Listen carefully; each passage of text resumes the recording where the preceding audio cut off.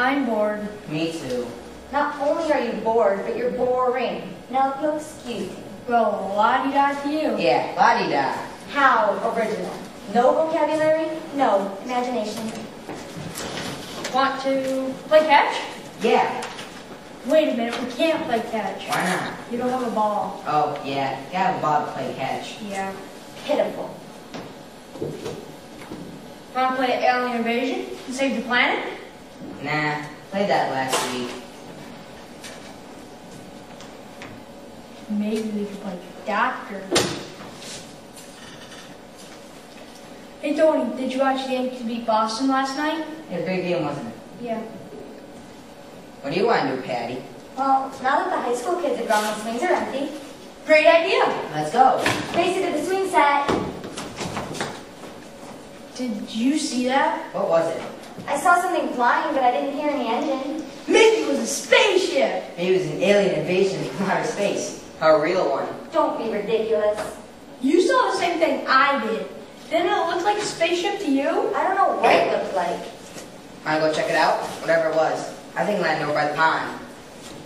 Sure, you first. Yeah, you're always saying you want to be the leader. You never let me be line leader in the first grade. So why now? Go ahead, Mike. What was that? What was what? I think the bushes moved. Maybe it's an alien. Hey, don't push! Don't push! It is an alien! Greetings, I'm Zarn from Kuz, seventh planet of the Ord Galaxy. I've come to pick up a princess. That's no alien. That's Rick Sanford, Kenny's brother. He must be going to a masquerade party. I, I knew it was a joke all along. I just didn't want to give it away. Sure you did. Hi, Rick. That's a great suit. Love the necklace. I know of no Rick. I told you, I'm Zarn from Kuz, seventh planet of the Ord Galaxy. Okay, we'll play along. I'm Patty, that's Mike, and that's Tony. Are you here to pick up the Princess of Earth? Did you say Earth? Yeah, you know, third from the sun and all that. Oh no, now I'm in trouble. Why so? I'm supposed to be on Kleptonius in the Prism Galaxy. Earth isn't so bad. You could have done worse. You could be on Mars. Oh no! I've read my gravitational directional communicator wrong. I've been going the wrong way at the speed of light for two weeks. Okay, Rick. Halloween's over.